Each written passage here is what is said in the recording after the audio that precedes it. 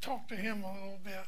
Heavenly Father, we thank you, Lord, for who you are and who you are in each of our lives. Father, we just thank you for Jesus.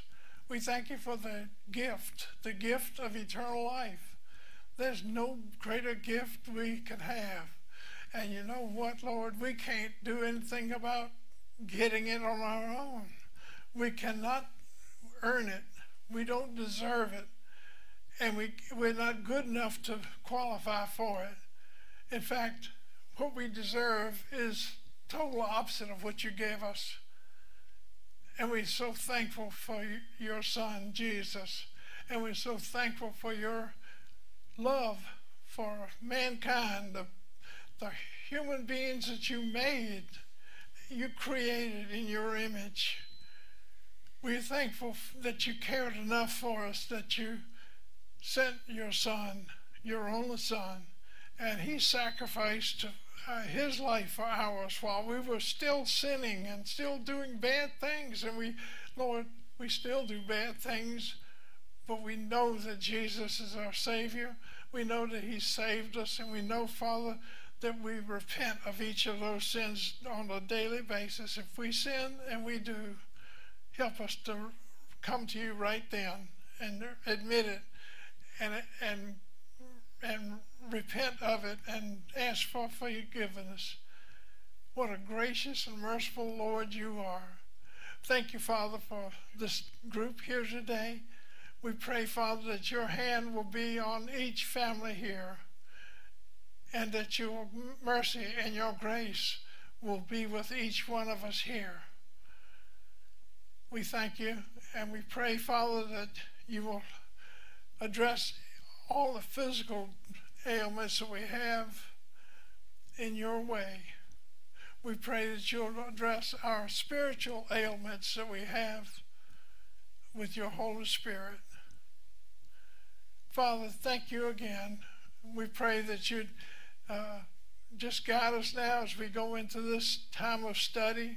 Help us to realize just who we are in you and help us to walk in your will. Guide us by the Holy Spirit. And we thank you and praise you. In Jesus' name we pray. Amen. This morning we're looking at Noah. And in chapter 6, starting in verse 1, let's see, I lost it again. I put it in my pocket and I lost it. How about that? Uh, let me get it back.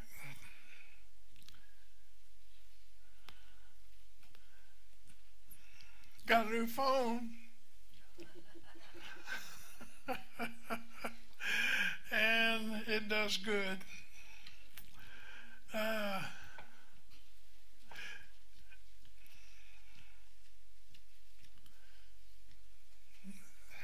come on, come on.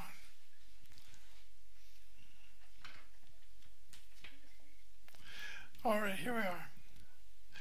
In verse 1 of chapter 6 of Genesis, it says, Now it came to pass when men began to multiply on the face of the earth, and daughters were born to them, that the sons of God saw the daughters of men, that they were beautiful, and they took wives from them for themselves of all whom they chose.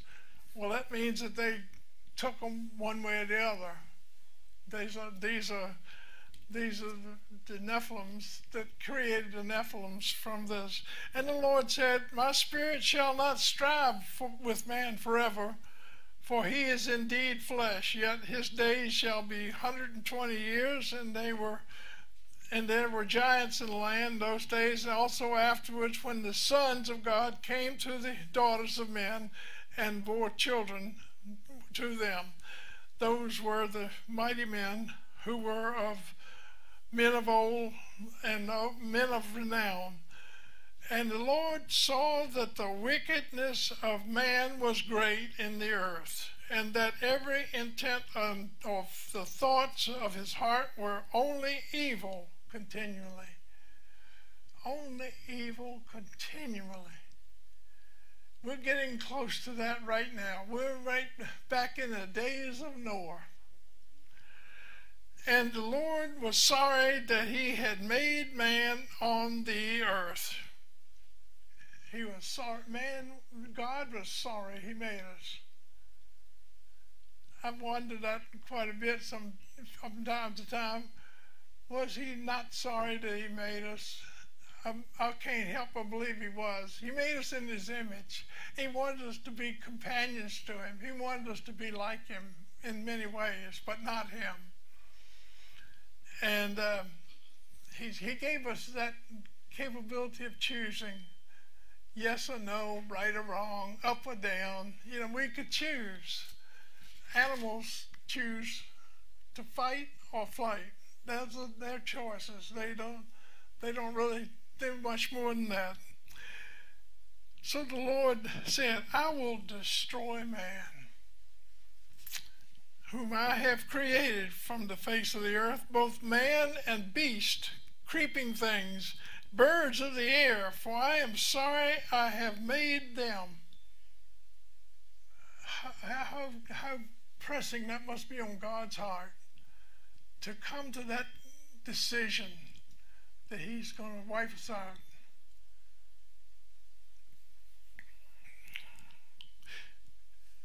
In verse 8 it says, But Noah found grace in the eyes of the Lord. Now, why did Noah find grace when the others didn't? Noah was serving the Lord. He was a sinful man, just like everybody else, but he was serving the Lord in faith. He had faith in God. So,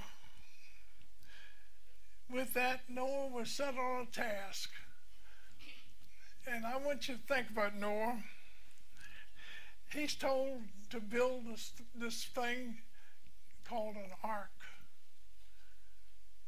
He'd never even seen an ark or a boat or a canoe or anything that floats on water.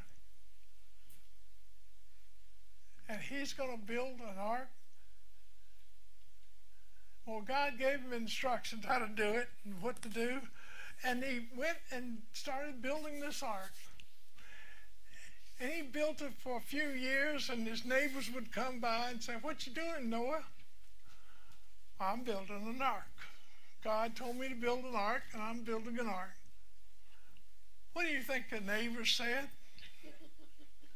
You're doing what? Noah? What are you doing, Noah? And that's 10 years. How about when it got to be 70 years? He's now building art. They can see it's starting to look weird. It's getting sides. It's the biggest house they ever saw without a roof. And this this this is uh, something else. But what do you think those neighbors continue to say? They snuffled and sniffered and snickered and carried on and, and would not help him. I don't believe they helped him. Why would they help him do something that they couldn't? They wouldn't. They couldn't laugh at it were helping him. But anyway, Noah kept on. Him and his little family built this ark. 120 years. Wow, that's older than me. That's older than Brad even. So it's it's been a long time building. And what happens then? Lord sends Noah into the ark. Go into the ark. And the Lord closed up the door for ark for Noah was inside and he allowed this ark to to float when the rains came. They didn't know what rain was. Can you imagine that? They did not know what rain was. But these people that laughed all found out what rain was. They found out what it was to go for a swim down at the lake. The lake was a big lake because it covered the world. And there was no place they could find a rest when they started swimming. So they all succumbed to the waters the animals and everything except those on the ark. Well, we're going to look at this story on the ark and find out what my friend here has to my friend here has to say about that as he goes into this story. So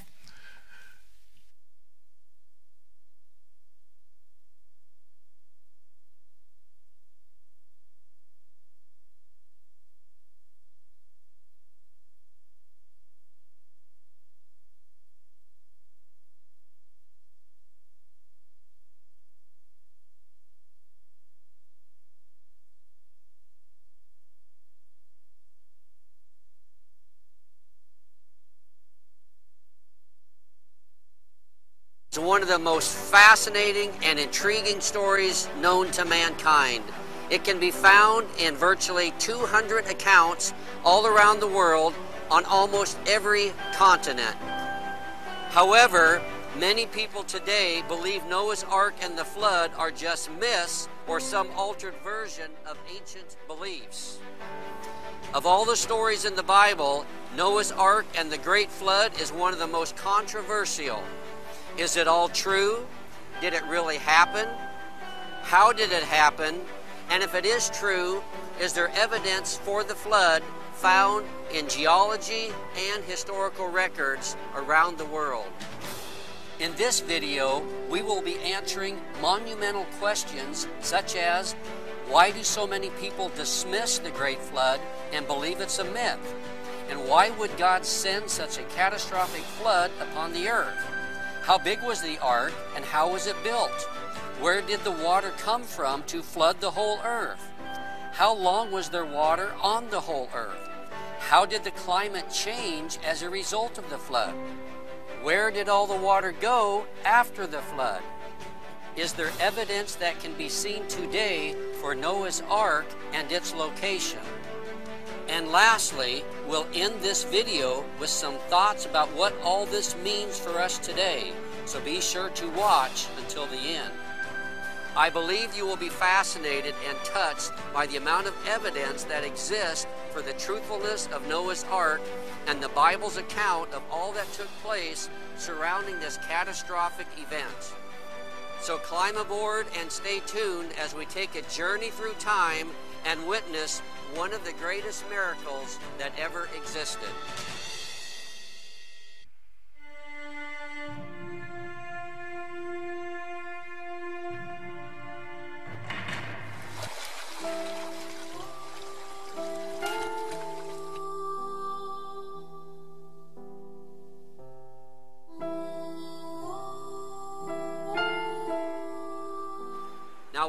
Worldwide historical evidence for the Great Flood? The Great Flood account is mentioned in writings or oral traditions found all around the world. In fact, as mentioned, it's referred to in around 200 accounts.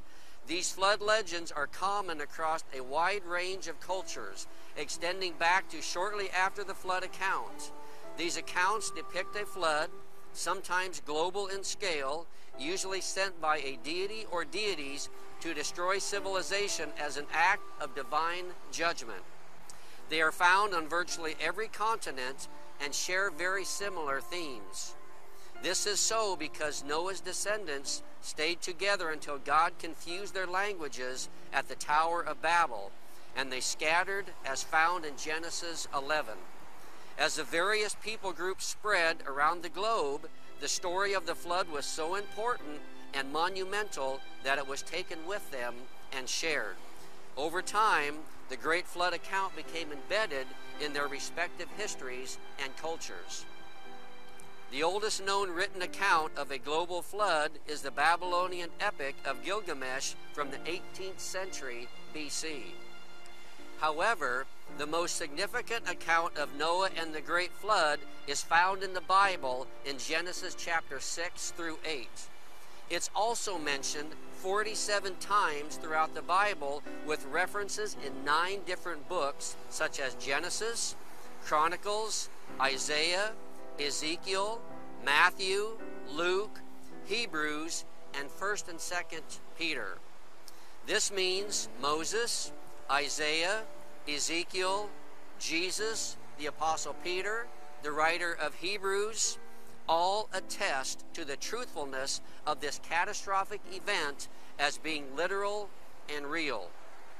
What is very notable is the fact that Jesus referenced Noah and the flood five times in the gospel accounts. This is weighty evidence of the reality and truthfulness of Noah's ark and the great flood because Jesus referred to it as being a literal event, not some myth or fairy tale. Now, there is no other historical figure who has influenced the world more than Jesus. No one comes even close to comparing with him. So, if we don't believe Noah and the great flood were actually real events, we would be making Jesus out to be a liar or a lunatic. Now, why do so many people dismiss the great flood and believe it's a myth? The creation of the universe, along with Noah and the great flood, are some of the most attacked writings by critics. Why is this so? I believe it's because creation deals with the fact that we have a divine creator to whom we must give an account. Sinful humanity desires to be the Lord of their lives and refuses to submit to their creator. In order to justify their sinful lifestyles, they attempt to eradicate their Creator so they can do as they please. This is the root source of evolution. It denies the existence of God and tries to explain the existence of the universe by time and random chance. However, everywhere we look, we see intelligent design, which attest to the existence of God. So just look around and notice everywhere you go and everything that you see, and you will see intelligent design everywhere. According to God, every person knows in the depths of their hearts that God exists. Therefore, there is really no such thing as an atheist. Romans 1 18 through 21 addresses why there is really no such thing as an atheist. It says, For the wrath of God is revealed from heaven against all ungodliness and unrighteousness of people who suppress the truth in unrighteousness. Now, notice, because that which is known about God is evident within them, for God made it evident to them.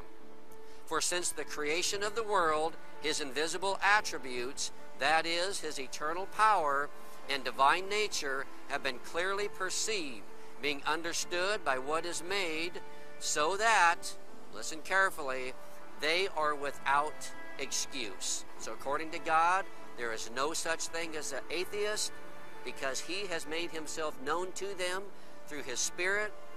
That he's given them a conscience, he has given them creation to see. So it says that there is no one that has an excuse. So there is no such thing, according to God and His Word, as an atheist. It continues For even though they knew God, they did not honor Him as God or give thanks, but they became futile in their reasonings, and their senseless hearts were darkened. So it says that they did know God, and they've turned away. That's why we have evolution. That's why we have people that don't believe the Bible and they turn away to follow their own way because they don't want to submit to their Creator. Now, this same attitude of rejecting our Creator was prevalent in the days of Noah. This is the main reason God sent the flood. Today, many choose not to believe the creation and great flood accounts because they try to understand them using the natural laws of science. However, these events were supernatural and superseded natural laws. In fact, the whole Bible is full of supernatural events we call miracles because God is supernatural and is involved in His creation. Whenever God moves, it is supernatural. God also has created the laws of nature as well. So, whether something is supernatural or natural, everything that happens is due to God making it happen. In fact, nothing that happens does so without God working. When we understand and believe these truths, then the events of the creation and the great flood become very believable. Those who claim there is no evidence for the great flood do so by using their preconceived belief that there was no flood to begin with and then attempt to explain away the evidence using eons of time and random chance. Moreover, the creation of the universe was one of God's greatest miracles. It was completely supernatural, and when he was done, it was a mature, fully functioning system and had apparent age to it. Adam and Eve were created mature, along with the animals and some plants for food for them. This was also the case with the stars. They had apparent age, and as mentioned, God's creation was mature and fully functional. It did not evolve over time. Other than the creation of the universe by God Almighty and the works of Christ, there was no greater miracle recorded in the Bible than the Great Flood. It was a catastrophic event that altered the terrain, climate, and makeup of the earth. It lasted for around a year and wiped out everything that had the breath of life in its nostrils except Noah, his family, and the animals on the ark. Now, why did God send such a catastrophic flood upon the earth? Genesis 6 5 through 8 tells us why. It says, Then the Lord saw that the wickedness of mankind was great on the earth, and that every intent of the thoughts of their heart was only evil continually. So the Lord was sorry that he had made mankind on the earth, and he was grieved in his heart.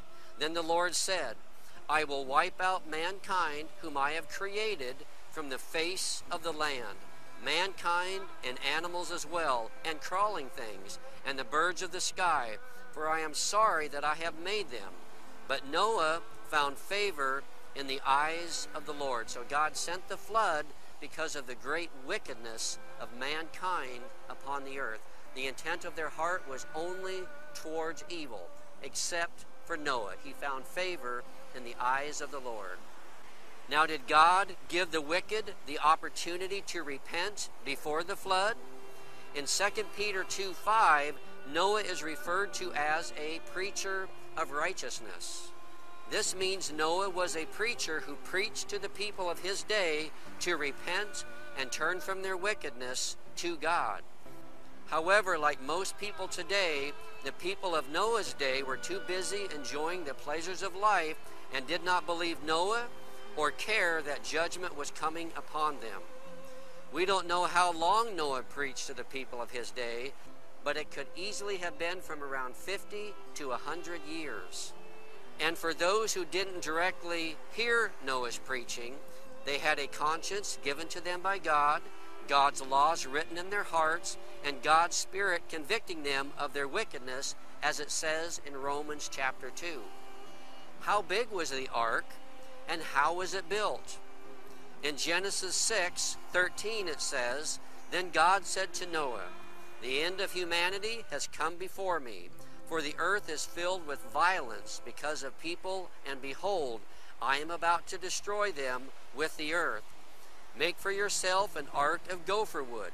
You shall make the ark with compartments, and cover it inside and out with pitch. This is how you shall make it. The length of the ark shall be 300 cubits, or 515 feet, or 150 meters. Its width, 50 cubits, or 86 feet, or 26 meters, and its height 30 cubits, or 62 feet, or 19 meters. You shall make a window for the ark and finish it to a cubit, or 20.61 inches, or 52.35 centimeters from the top, and put the door of the ark on the side.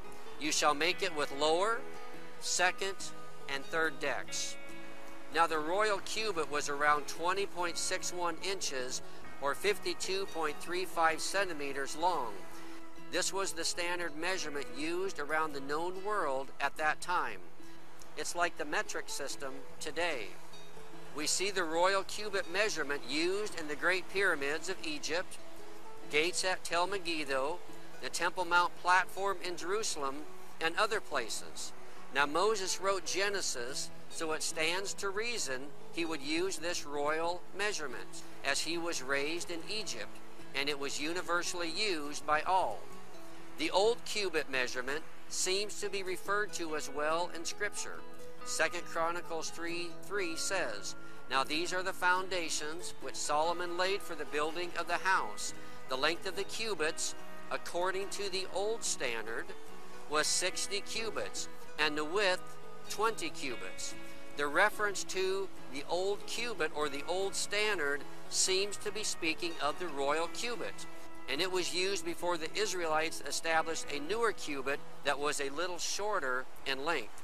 Using the royal cubit, the ark would measure 515 feet or 150 meters long, 86 feet or 26.21 meters wide, and 52 feet or 15.70 meters high.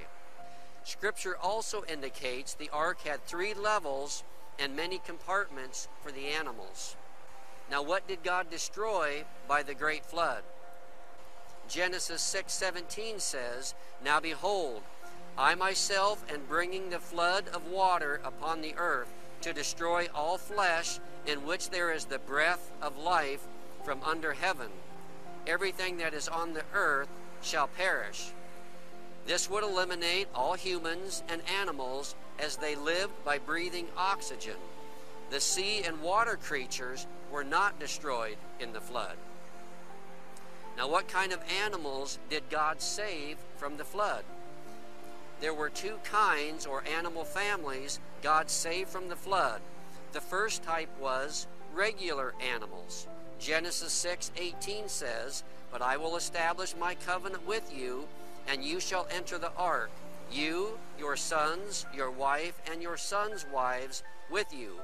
And of every living thing of all flesh, you shall bring two of every kind into the ark, to keep them alive with you. They shall be male and female, of the birds according to their kind, and of the animals according to their kind, and of every crawling thing of the ground according to its kind Two of every kind will come to you to keep them alive. As for you, take for yourself some of every food that is edible, and gather it to yourself, and it shall be food for you and them. So Noah did these things according to everything that God had commanded him, so he did. A kind of animal is similar in meaning to a family of animals. A kind of animal or family of animals is very different than a species of animals. A species deals with all of the varieties within a kind or family of animals. So this doesn't mean God brought every species or variety of every animal, but two of every family of animals. This would reduce the number of animals that would have been on the ark considerably. For example, Today there are around three to four hundred different species of dogs. However, they all come from one kind of dog. So from one pair of dogs, all the different varieties are derived. The next kind of animal were the clean animals. And of the clean animals, God brought more of them upon the ark. It says in Genesis 7 1 through 5. Then the Lord said to Noah, Enter the ark you and all your household, for you alone I have seen to be righteous before me in this generation. You shall take with you seven pairs of every clean animal. So of the clean there are seven pairs, a male and his female, and two of the animals that are not clean, a male and his female. So of the clean animals, seven pairs, of the regular animals, just two, a male and a female. Also, of the birds of the sky, seven pairs, male and female, to keep their offspring alive on the face of all the earth. For after seven more days I will send rain on the earth for forty days and forty nights, and I will wipe out from the face of the land every living thing that I have made. So Noah acted in accordance with everything that the Lord had commanded him.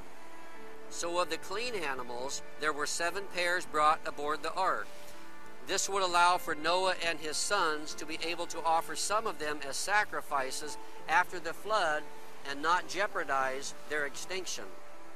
Both the regular and clean animals were most likely young and small, so they wouldn't take up a lot of space, wouldn't eat as much, and would have many years of reproductive life ahead of them after the flood to repopulate the earth again. This means that the dinosaurs brought aboard the ark were most likely young and small as well. Now, how did the animals come to the ark? It was God who supernaturally gathered the animals and brought them to Noah and the ark. Genesis 6:20 says, "Of the birds according to their kind, and of the animals according to their kind, of every crawling thing on the ground according to its kind, two of every kind it says will come to you to keep them alive." So God brought the animals supernaturally to Noah so that they would be kept alive aboard the ark. Now who closed the door of the ark? Genesis 7:15 tells us, so they went into the ark to Noah by twos of all flesh, in which there was the breath of life, those that entered, male and female of all flesh, entered as God had commanded him. And the Lord closed the door behind him. So it was God who supernaturally brought the animals to Noah. And then once they were all aboard, it was God who supernaturally closed the door of the ark. Now, when did the great flood begin? By the best records found in the Bible, the great flood took place around 2500 BC. Also, according to a literal interpretation of the Bible, God created the universe in about 4000 BC. This means the Great Flood took place about 1500 years after God created the universe. Now, where did the water come from to flood the whole earth? Genesis 7:11 says, "In the 600th year of Noah's life, in the second month, on the 17th day of the month, on that day all the fountains of the great deep burst open, and the floodgates of the sky were opened." The rain fell upon the earth for 40 days and 40 nights. This means that the water came from two sources from the fountains of the deep, and two from the floodgates of the sky. It appears the continental plates were shifted and the continents formed when the fountains of the deep opened and the water gushed out. It's also believed that the water canopy God created at creation came down upon the earth. Now, did the great flood cover the whole earth? Genesis 7 17 says, Then the great flood came upon the earth for 40 days, and the water increased and lifted up the ark, so that it rose above the earth. The water prevailed and increased greatly upon the earth, and the ark floated on the surface of the water. And the water prevailed more and more upon the earth, so that all the high mountains everywhere under the heavens were covered. The water prevailed 15 cubits, or 26 feet, or 8 meters, and the mountains were covered. And all flesh died that moved on the earth birds and cattle and beast and every creeping thing that creeps on the earth, and every man all in whose nostrils was the breath of the Spirit of life, all that was on the dry land died. So he wiped out every living thing that was upon the face of the land, from mankind to animals to crawling things, and to the birds of the sky. And they were all wiped out from the earth, and only Noah was left, together with those that were with him in the ark. So scripture is very clear that the flood covered the mountains everywhere. It uses references over and over again under the heavens, all, every. So the flood wasn't just local. It's also clear from the Bible and archaeological evidence that the great flood covered all the earth under the heavens. Now, for those who say the flood account was just a local event and not worldwide, which is a popular belief today, some just say it's a local event, they overlook the fact that all people and animals not in the ark could have easily left the area of a local flood and migrated to higher ground. In so doing, they wouldn't have been destroyed, as Scripture says. Also, much more than just a local area of the earth was populated, so the flood had to be global to destroy all the other animals and humans upon the earth. Now, how long was there water upon the earth? And I think you're going to find this very fascinating how long the water was actually upon the earth. So we'll look at just a timeline looking at the days of how long the water was upon the earth. Now it should be noted that Noah entered the ark seven days before the flood actually started. So that gave them time to get all accustomed to everything, get a system down. So they were there seven days, and then after that is when the flood began. So day one, the flood begins in the 600th year of Noah's life, in the second month, on the 17th day of the month. The fountains of the great deep broke apart, and the windows of heaven were opened, and it began to rain, as found in Genesis 7:11. So now we come to day 40. The massive deluge of rain ends after 40 days and nights in the third month on the 27th day of the month as found in Genesis 7:11 and Genesis 7:17. Now we come to day 150.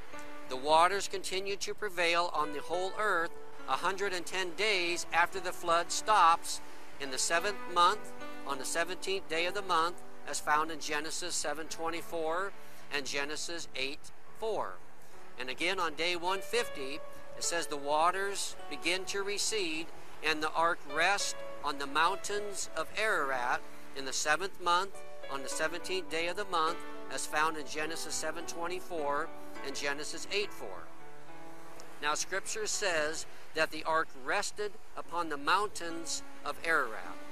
Ararat was a territory originally called Urartu. Notice that the ark didn't rest upon Mount Ararat, but upon the mountains of Ararat. Now, when we look carefully at verses 4 and 5, they seem hard to understand. Genesis 8 4 says, Then in the seventh month, on the seventeenth day of the month, the ark rested upon the mountains of Ararat. But then Genesis 8 5 says, And the water decreased steadily until the tenth month. In the tenth month, on the first day of the month, the tops of the mountains became visible. Now, this seems confusing as the ark came to rest on the mountains of Ararat 74 days before the mountains were visible. Now, how could this be? Well, this becomes very clear when we understand and realize that the ark had drogue stones that were used to stabilize the ark. Now, these drogue stones were massive stones that hung down under the ship and were used to stabilize it. They were used in ancient times and acted like sailboat ballast today. They created a drag in turbulent waters to prevent a ship from slipping sideways against the waves. In calmer waters, they were used as sounding mechanisms to find out how deep the water was, how far the land was below the water. Therefore, the drogue stones of the ark caused it to stop and rest on the mountains. Afterward, when the water level dropped, the ark touched down and sat on the land. So this explains why the ark came to rest. The drogue stones touched down and held it somewhat in place. Then, as the water continued to recede and the mountains were visible, then the ark actually touched down on the land. Interestingly, these stones have been found in the area where it's believed Noah's ark came to rest. We will be looking at these drogue and anchor stones in more detail when we look at all the evidence for the location of Noah's Ark in eastern Turkey in the mountains of Ararat. Then we come to day 224. The tops of the mountains become visible in the 10th month on the first day of the month, as found in Genesis 8 5. Between days 150 and days 224 is when the ark touched down upon dry land. Then on day 264, Noah sent out a raven in the 11th month, on the 11th day of the month, as found in Genesis 8 6. On day 271, a dove is sent out and returns to Noah in the 11th month, on the 18th day of the month, as found in Genesis 8 6 through 12.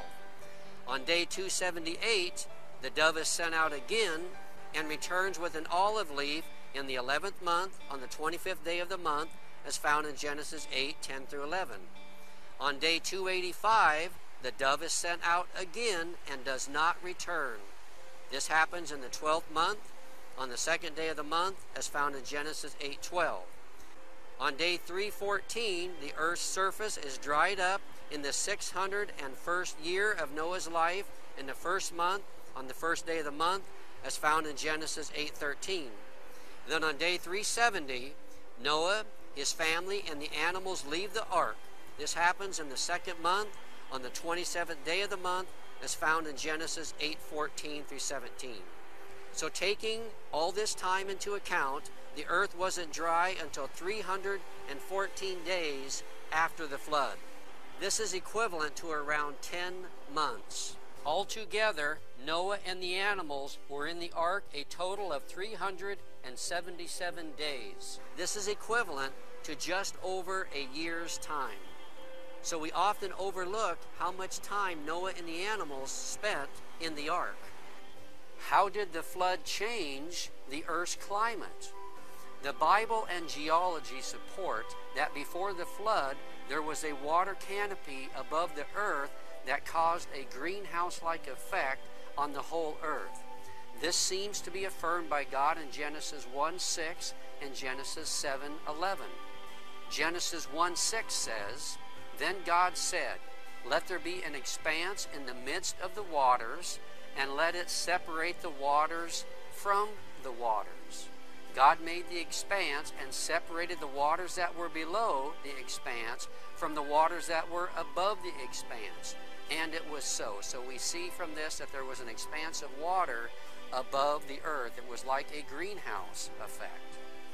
And Genesis 7 11 and 12 says, The floodgates of the sky were opened, the rain fell upon the earth for 40 days and 40 nights. This is talking about the great deluge. So it appears that this canopy from above, which were the floodgates of the sky, were opened and came down upon the earth.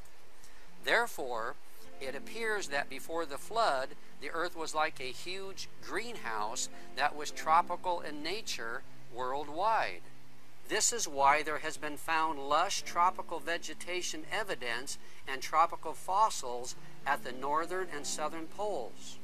When the flood occurred, the water canopy in the sky came down upon the earth, and the earth's climate was permanently changed because there was no longer a water canopy to protect the earth and keep the heat in.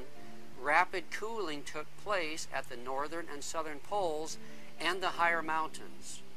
The earth was exposed to the upper atmosphere without a water canopy, causing instant freezing toward the northern and southern poles and the higher elevation mountains. This is evidenced and proven by animals being found frozen instantaneously in ice. And as mentioned, lush tropical vegetation evidence and tropical fossils at both the northern and southern poles and high mountains have been discovered. Now, where did all the water go after the flood? God says in Genesis 7:19 that the water prevailed more and more upon the earth so that all the high mountains everywhere under the heavens were covered. This means there were high mountains and all of them on the entire earth were covered with water. God also says that the great deluge of water lasted 40 days and nights. Then it says that the earth's surface dried up on day 314 after the original 40 days of the great deluge. So this means there was water on the earth for around 274 days after the flood waters stopped. Now, where did all this water go? We basically have four options.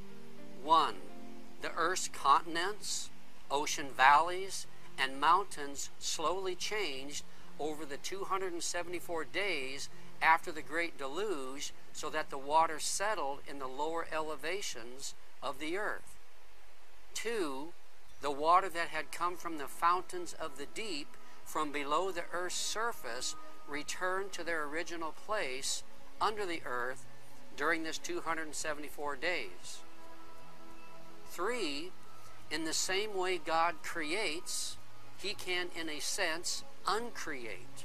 So God could easily just have supernaturally caused the water to disappear over the 274 days after the Great Deluge. And four, a combination of the first three could have all taken place simultaneously. I should mention that one of the biggest problems in believing the events of the Bible, like the creation of the universe, Noah and the great flood, the Exodus, the Red Sea crossing, and so forth, is that we try to understand and explain these events by only using natural laws of science. God is supernatural and can do anything He wants. He is not bound to natural laws. In fact, He created all the natural laws. However, as the Creator, He can bypass any natural law He desires. When He does so, we call it a miracle. This is why the miracles Jesus did and countless other miracles all throughout the Bible are possible. God was just moving and overriding these natural laws. Even those today who are born again and saved experience a new nature given to them by God, which is supernatural. So every true believer has experienced a personal miracle of being born again and giving a new heart, desires, and nature. Now what did Noah do shortly after the great flood? Genesis 8 20 and 21 says, Then Noah built an altar to the Lord, and took some of every kind of clean animal, and some of every clean bird, and offered burnt offerings on the altar. The Lord smelled the soothing aroma, and said to himself, I will never again curse the ground on account of man, for the intent of man's heart is evil from his youth and I will never again destroy every living thing as I have done. So Noah worshiped the Lord after the flood, and God instituted the rainbow as a promise he would never again destroy those upon the earth with another great flood. So again, if the flood would have been just local, as some claim, then every time there is a local flood, God would be breaking his promise he established regarding the rainbow. Now, is there evidence today for the location of Noah's Ark? The answer is yes. There is overwhelming evidence for the location of Noah's Ark that can be seen today, and I'm really excited to share this with you. The site we'll be looking at has far more evidence than any other proposed place. It's known today as the Durupinar site, but it is not new as it has been venerated for thousands of years. Now we have done a complete video dedicated to the overwhelming evidence that can be seen today regarding the location of Noah's Ark. It's called Noah's Ark Discovered Documentary. We'll have it linked below in this video and at the end as well.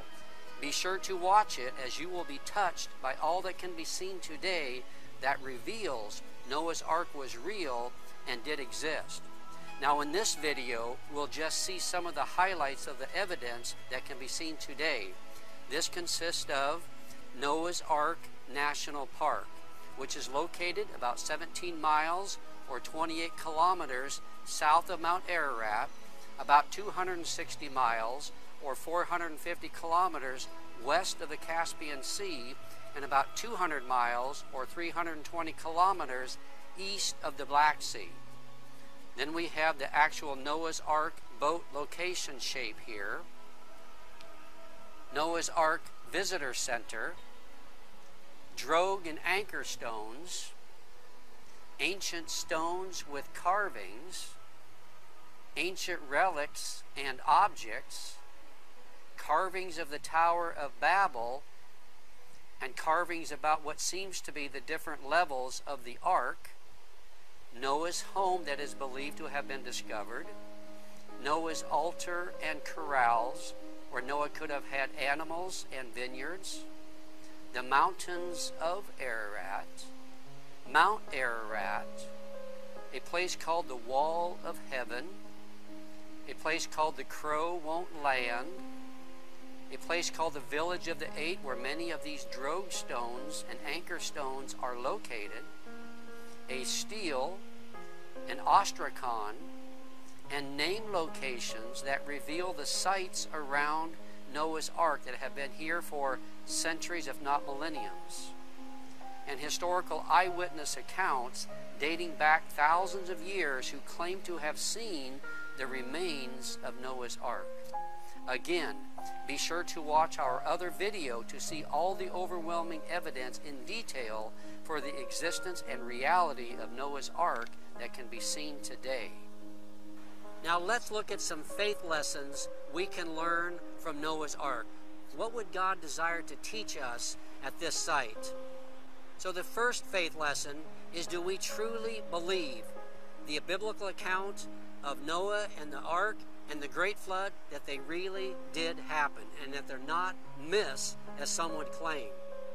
Now, today there's a raging battle taking place between those who want to eliminate a literal account of the creation of the universe and the great flood accounts as found in Genesis 1 through 8.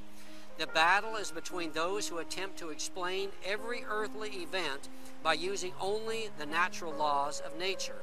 In other words, they eliminate the existence of God and the supernatural. Therefore, they are only left with natural explanations for everything that occurred in the past. Now, God tells us that the answer to these apparent dilemmas is faith, that we should believe God, even though we maybe don't understand all the details. Hebrews 11:3 says, "By faith we understand that the worlds were framed or created by the word of God, so that the things that are seen were not made of things which are visible." Creation was a supernatural event that God did that we need to believe by faith.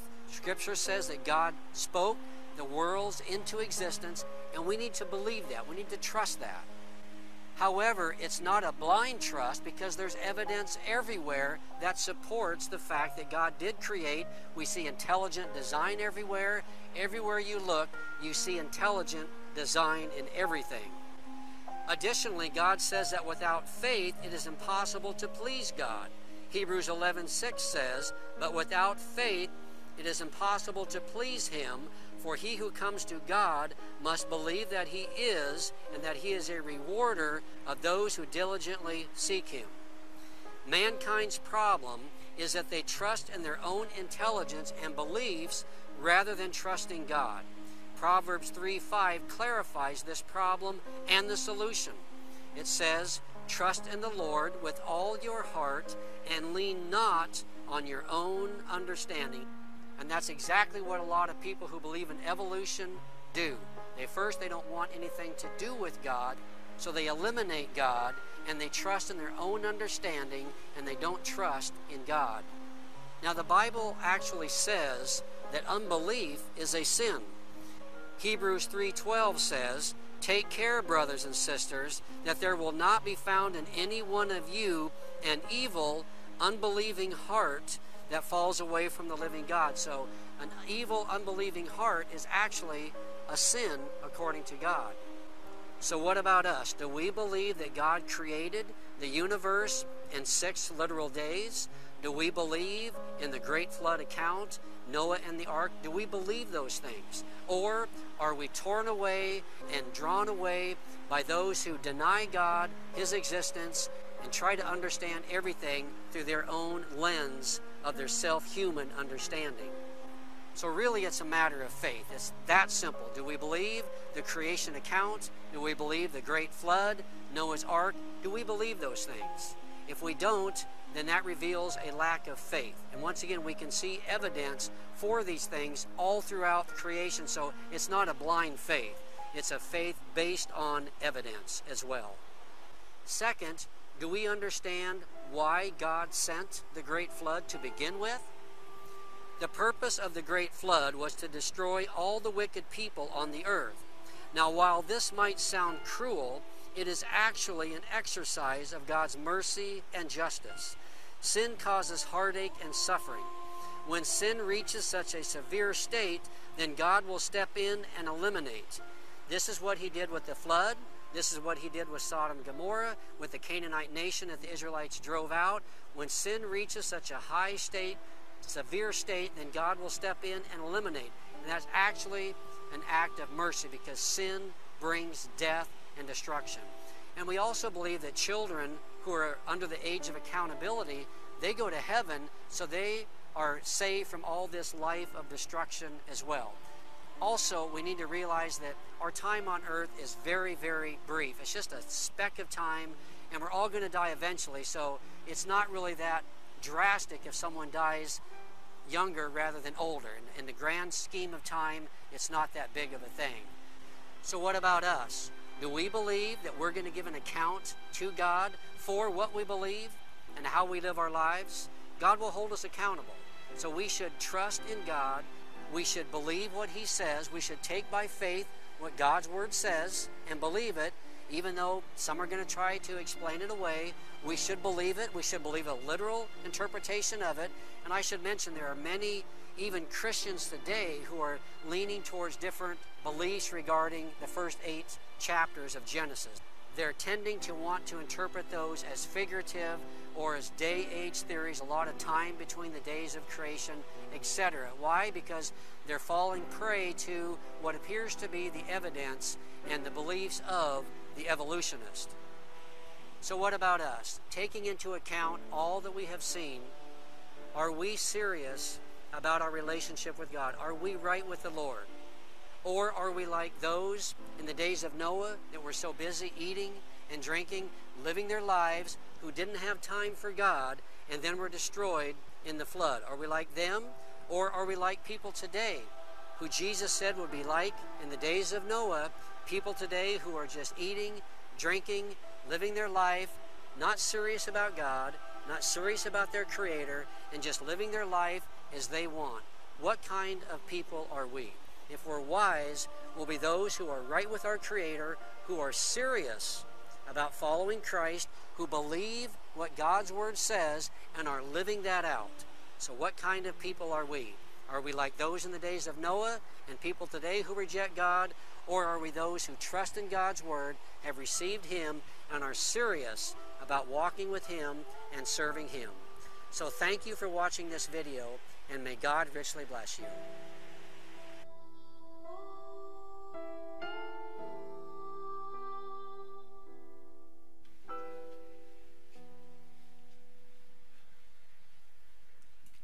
What did you think of the video? That was a great video, I think. And the question comes, what about us? Are we part of that group that should go under the waters? Well, we know friends that are. If we're not, we certainly know people that are. What is our what is our responsibility here? Do we have a responsibility? Is God calling on us to do certain things? And if so, what is what are those things? I believe He's called on all of us to, to be a witness.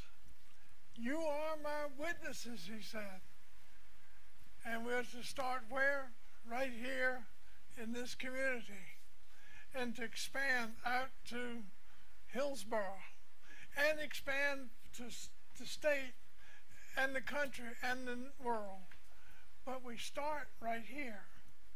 So if you haven't started right here, I urge you to go back and consider that because God is considering it as a as a commandment to us, not just a suggestion we do it. You are my witnesses. We're not just, I'm not, if you're not doing anything today, would you go out and share Jesus with somebody? Just tell them about him, what he's doing for you.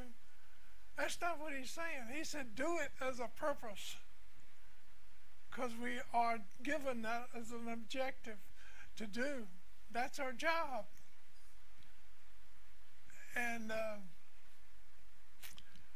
tell you one thing once you start doing it and you start feeling Jesus help you with it all along, He will help you every time you talk to someone.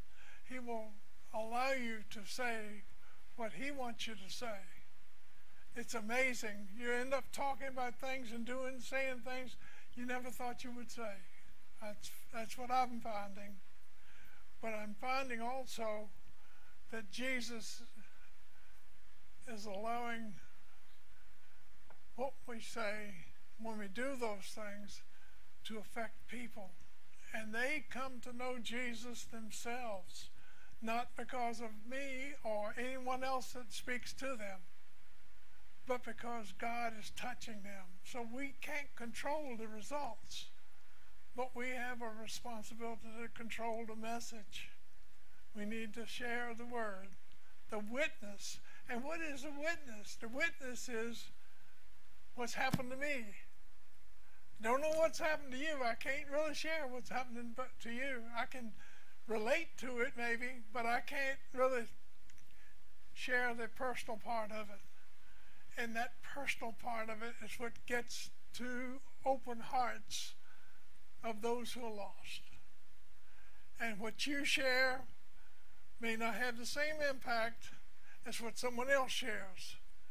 But if we share, and that's why it sometimes takes maybe 10, 15 times for that person being approached and shared Jesus with before they realize and come, somebody clicks.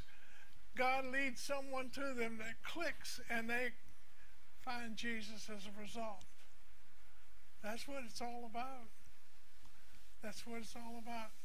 And, you know, I'm convinced that my generation, which is partially your generation too, because my but my generation, we didn't do it. We didn't do our share. We didn't do our part. Now, what I'm looking at as a result of that, there are more people not doing their part. And if you know if that's the wrong, wrong uh, trajectory of this project. You know, if it's a, you call it a project, it, it's saying you're going down instead of up. Because if if you don't share, who's sharing? Who's sharing? If I don't share, who's sharing? And if no one shares, who goes to who comes to know Jesus? Does it have to be a miracle every time that somebody gets struck by lightning to, to accept Jesus? I'm convinced God will find a way to lead those he wants to have salvation to him, but that's not his command. His, his, he said he's doing it through us. That's what his commandment means. I'm doing it through you. You are the one. I'm expecting you to carry out my mission so that your friends and your neighbors will know or have an opportunity to know Jesus as their personal Lord and Savior. Oh, what an awesome opportunity that is. What an awesome blessing it is when you when you realize that people are changing their lives because you're following God's commandment.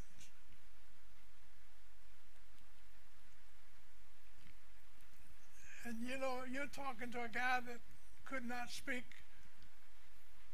to uh, any, I couldn't speak to three people. If three people, if you were sitting here and two or three people I had to stand up, I could not do it. I could not do it. I thought I was getting fired from my company because I could not do it. Now that's pretty serious. And, uh, but you know, I wanted to do it. I really, in my heart, wanted to be able to do it. And and it took it took seven Sundays of people like you who were in this church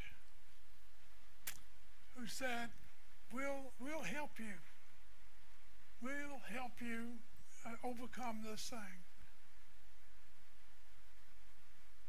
And I'm saying to you, I'll help you overcome this thing if you are willing to step out in faith and do something.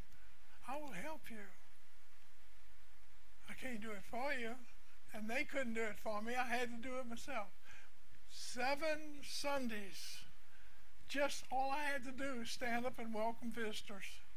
Seven Sundays it took me to do it. That's a long process. But God blessed me after that. He's really, really, truly blessed me. He's allowed me to speak. in places I never thought I would speak, do to people I never thought I could speak to. And so I'm, I'm sharing that with you so that you have a hope. If I can do it, you can do it. That's that's the old slogan. If I can do it, you can do it. You know, and that's true. If he allowed me to do it, you know, in high school, I never took a, I never stood up and took a, did an oral thing from the front of the school room. Couldn't do it. I took the zero grade or a failing grade every time. So, well, it's been a blessing today to share with you these thoughts and to see this video. I think we've been, we've got some some confidence now that God is in control and He does want us to work with Him. Let's go to the Lord in prayer. Heavenly Father, we thank you for this day and we thank you for these that are here. We pray, Father, that your will will be done in all that we say, all that we do, and all that we are. Forgive me, Lord, and forgive us as we go day by day. Help us to seek to be in your will and to walk with you and to seek to share Jesus wherever we go and wherever we can. And we give you praise, honor, and glory for all things in Jesus' name. Amen.